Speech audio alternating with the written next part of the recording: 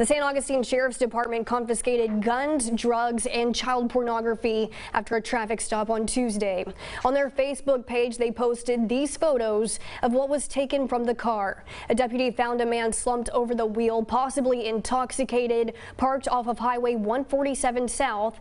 He turns out to be a convicted felon with several firearms. He was also in possession of, quote, a large lump sum of meth and other drugs. There was also child pornography and stolen property found in his possession. He was booked into the San Augustine County Jail.